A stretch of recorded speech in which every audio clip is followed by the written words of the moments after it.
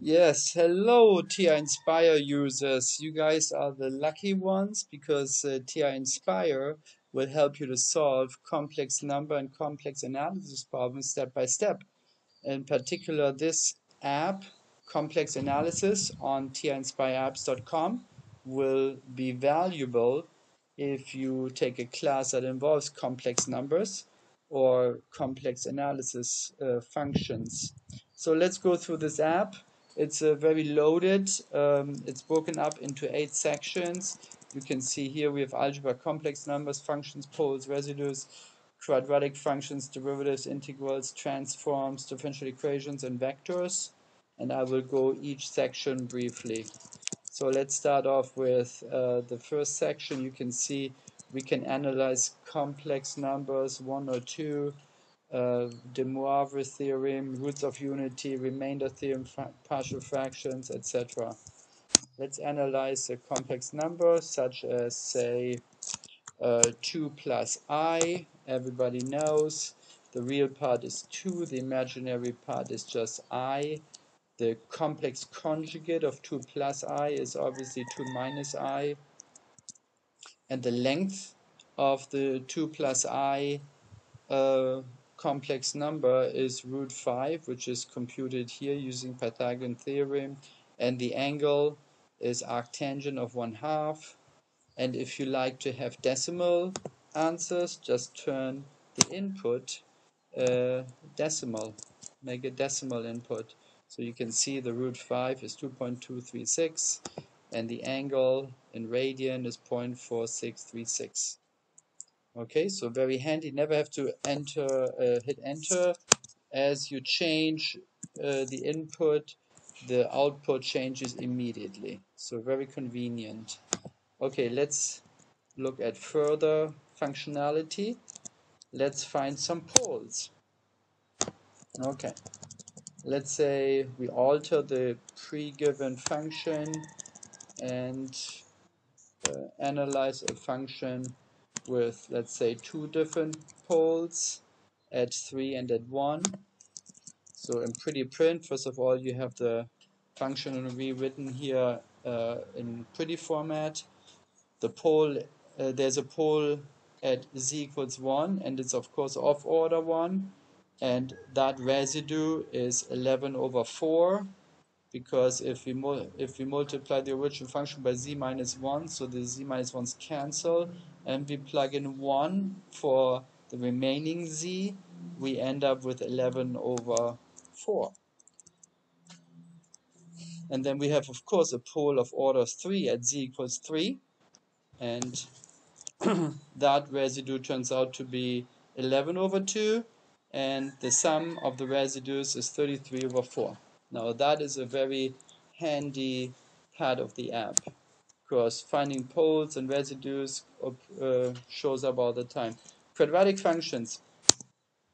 Well, we learned that already in Algebra 2. We just enter a quadratic equation. We can see that our answer is going to be 3 plus i and 3 minus i. Works like a charm.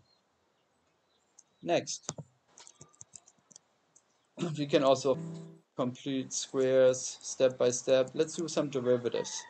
How about Cauchy-Riemann conditions? So we can either enter a complex valued function in this format, u plus iv, or in the format um, in terms of z. So we have to decide what we do. Let's say we're going to do the bottom version. So we have to clear the top box so here our u is x squared minus y squared and the v is 2xy right here. So then we're going to take the partial derivatives and we are now in a position to check if ux is vy and uy is negative vx and in this case it is. So our given function here is analytic and of course since you're knowledgeable about complex functions uh, this here is the same as the function, the analytic function or the complex function z squared. Because if you do z squared out, rewrite it in the form of x plus i y, you're gonna get uh, this uh, complex valued function in terms of i. Okay, and you will get the same conclusion, of course. So this is also very handy when you study complex valued functions. Moving right along. so we of course can find uh, check if a function is harmonic. We find the harmonic conjugate function using this app. We find derivatives and evaluate derivatives. You can do step-by-step -step differentiation. Find the Laurent series at given poles and curl divergence gradient. I, I recommend to use the trial version also if you want to play around some more with the functionalities. Uh, in terms of integrals, we of course can find complex valued uh, integrals or indefinite or definite contour integrals. We can do step-by-step -step integration. Uh, transforms, Laplace transforms, um, also to solve first and second, I mean, sorry, second and third order differential equations can be solved.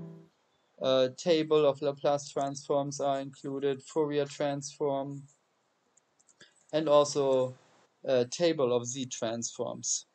So the Laplace transform, Fourier transforms can be um, performed. So let's say we want to find the Laplace transform of sine of t and plugging in sine of t into the Laplace integral and solving it gives us 1 over s squared plus 1.